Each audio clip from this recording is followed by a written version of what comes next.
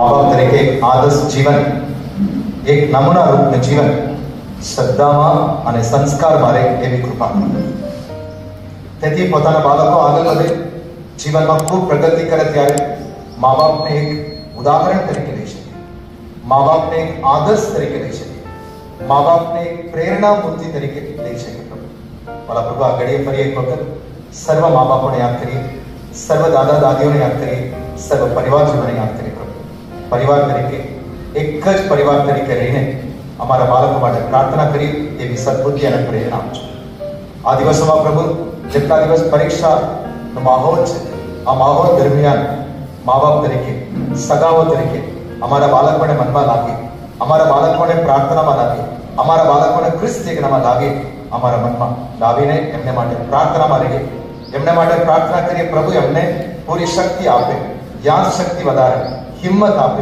એવી પ્રાર્થના કરીએ એવી પ્રાર્થના અમારા સર્વ વડીલો માટે પ્રાર્થના કરીએ પ્રભુ આગળ આજે જે વિદ્યાર્થીઓ ઊભા છે, એ તમારા બાળકો છે પ્રભુ. તમે જ કહેલો બાળકોને મારી પાસે આવવા દો તમે તમારા શબ્દ છે. બાળકો આજે તમારી પાસે આવ્યા છે.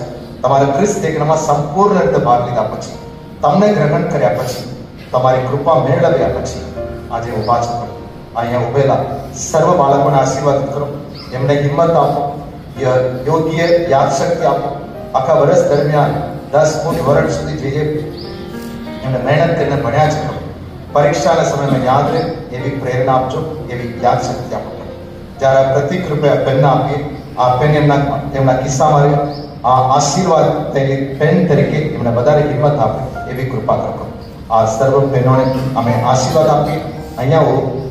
આવેલા સર્વ વિદ્યાર્થીઓ અહીંયા હાજર રહેતા સર્વ વડીલોને આશીર્વાદ આપજો.